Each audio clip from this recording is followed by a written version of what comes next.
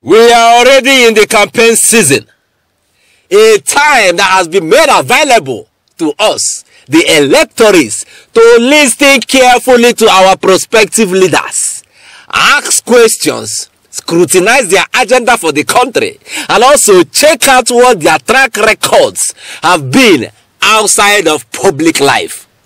A unique time to think about the country and our children unborn.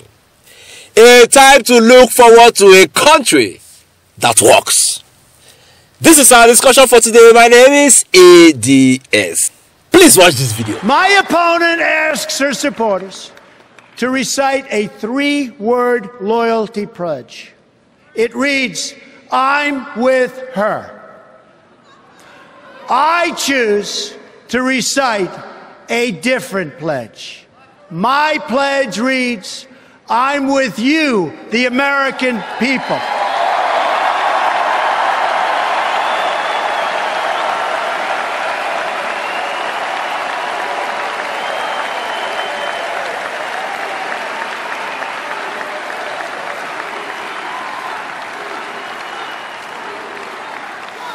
I am your voice.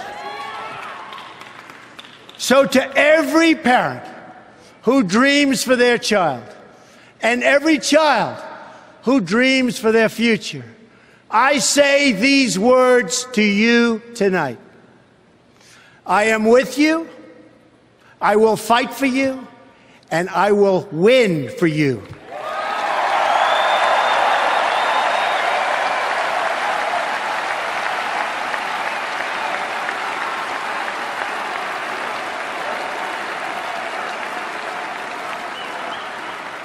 To all Americans tonight, in all of our cities and in all of our towns, I make this promise. We will make America strong again. We will make America proud again. We will make America safe again. And we will make America great again. God bless you and good night. I love you. Uh-huh, you're welcome back.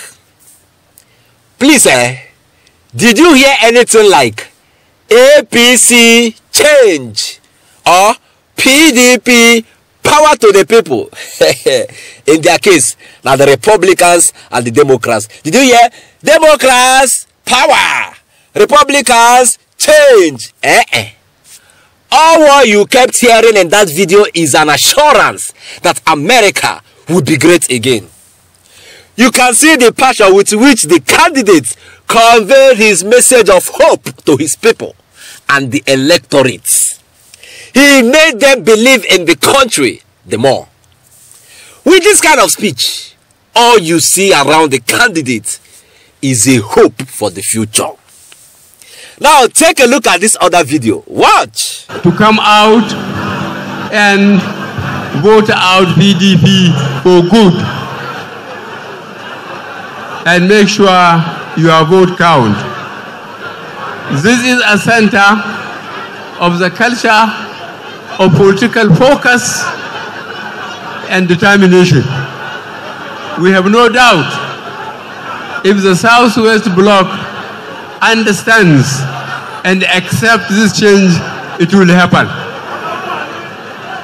So the ball is in your court. If you want to improve Nigeria, put your experience and determination, and God willing, it will happen. Whatever savings we will make from stopping corruption, we will quickly put in farming and mining. Is there any assurance of hope in that video? He's more or less like a slave master talking to his subjects. The campaign is about them, not about the nation. Is there any passion in what you just heard in that video? Did the candidate even convey his message like he meant it?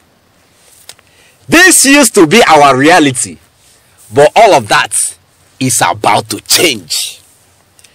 Before this election cycle, Nigerian politicians were seen in public places pulling some funny stunts just to appeal to the vulnerable electorate.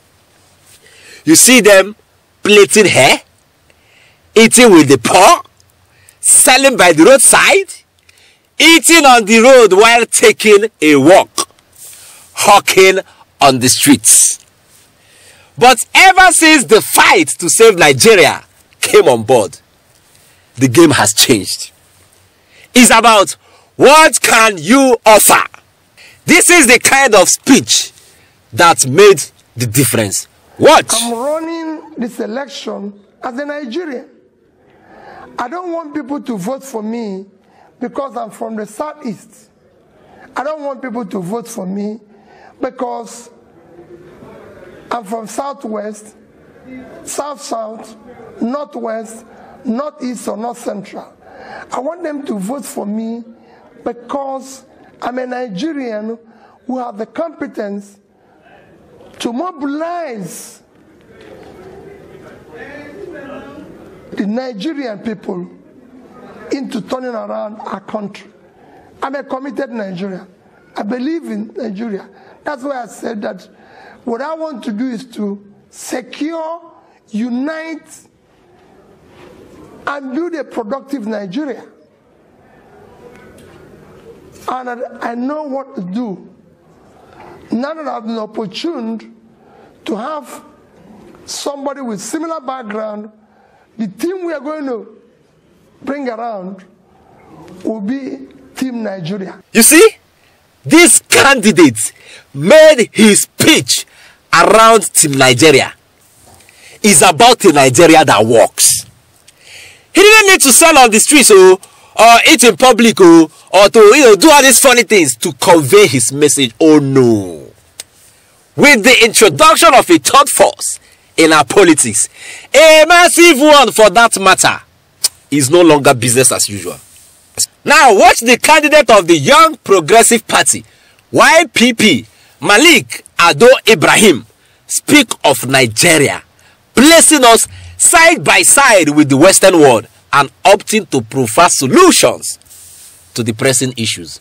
Watch. The fundamental element that Nigeria needs is somebody who knows what to do and has the experience to do it because you can now track him.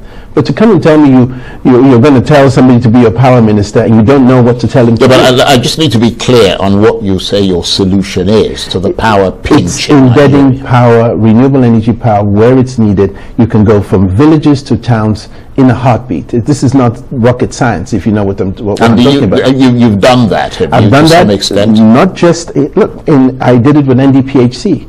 Um, I put renewable energy into Igbokoda on in uh, primary health centers. They were running on I passed my neighbor generators, and now they're they're, they're happily running on That's um, solar energy. Solar and storage. The storage right. part is where I'm, I'm key. Solar, everybody has. Being able to store that energy and deliver it as you need it, whenever you need it, is the, is the skill set you need.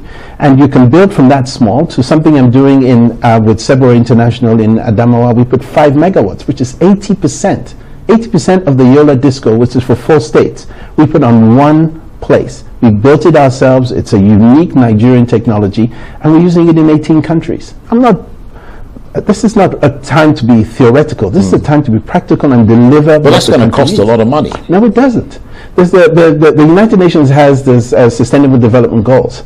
Out of that, you have um, the COP27, which is happening in Africa. There's $100 billion that you have access to for renewable energy. I guarantee you, our minister does not know how to get that money. This is the kind of thinking we want to see in this campaign season. Prefer solutions. Don't come and start attacking anybody. Oh. Nigeria needs a leader because we believe the ones before now didn't do a good job. We already know about that, so don't remind us of our past at all. Keep your blame game to yourself and speak to the issues we have as Nigerians. To the electorate, this is the time to select your leader follow through the campaigns and make the right choice. If you miss it this time, now after eight years, uh, una dey hear me so, I'll see you again. Follow us on all our social media channels showing on your screen right now. Until I see you again, my name is A. DS. Signing out.